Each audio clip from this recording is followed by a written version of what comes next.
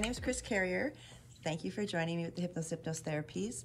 Um, I'm the CEO of the company, and I started my journey uh, the hard way. I learned all about um, mind control and, well, uh, hypnosis and all of that over a journey of illness through my life.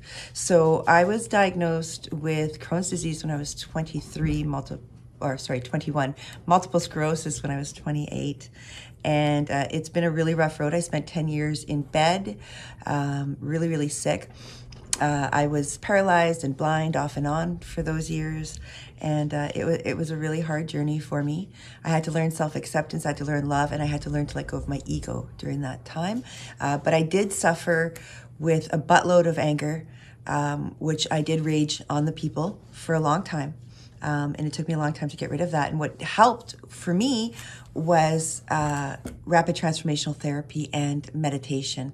Those are the two things that just changed my world um, and allowed me to start getting my brain back. For some days, like, I mean, the doctors had me on 12 different medications, which by the way, it's no longer true. I've gotten myself off everything, but, but for one, um, but they had me on 12 different medications, five of which were mind altering. Okay. So I couldn't even think. Some mornings I'd wake up, I couldn't even remember my own name.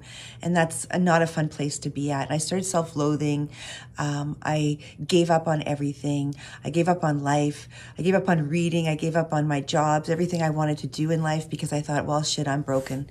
So who's going to want me now? And how am I going to function in life? And I'm just nothing uh, it took hypnosis, it took rapid transformational therapy for me to just get out of that cycle.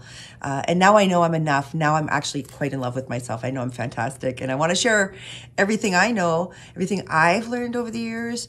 Um, I want to share my journey with you guys because I know you guys have been through a lot of stuff as well, not just the stuff I've been through. And trust me, I've been through a lot. Like, uh, you know, I've been through violence. I've been through rape. I've been through, um, you know, addiction. Uh, I've had guns to my face. I've um, done some really, really stupid shit in my life.